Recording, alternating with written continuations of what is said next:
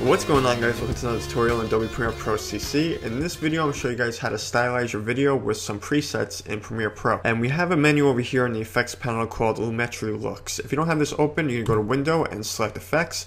And also, if you don't have the Effects Controls panel open, you'll just go to Window and select Effect Controls. Now this is some pretty cool stuff. A lot of people have been asking me about different features that are in Premiere Pro when they see a tutorial that I'm using, but they might not have that preset or feature.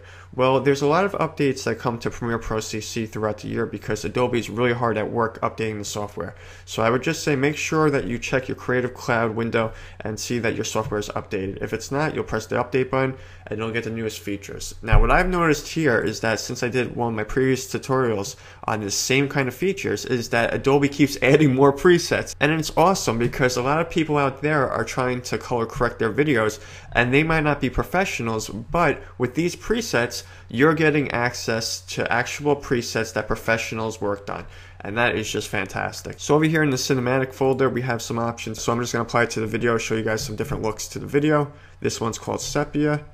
And you can go for any kind of look that you want. This is called day for night. This is a desaturation folder where you can choose some different looks. This is black and white.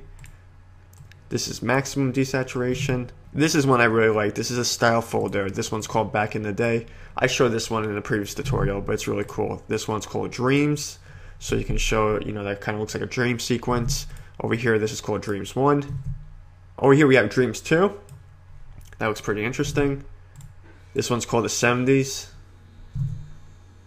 This one's 70s 1. This is 70s 2. You also have 60s 1 and this is 60s too. So let me try this Tritone preset.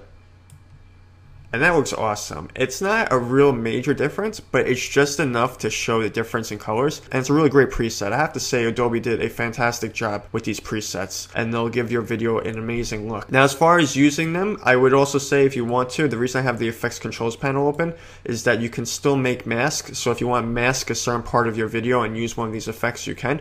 And that's also another cool thing you can do.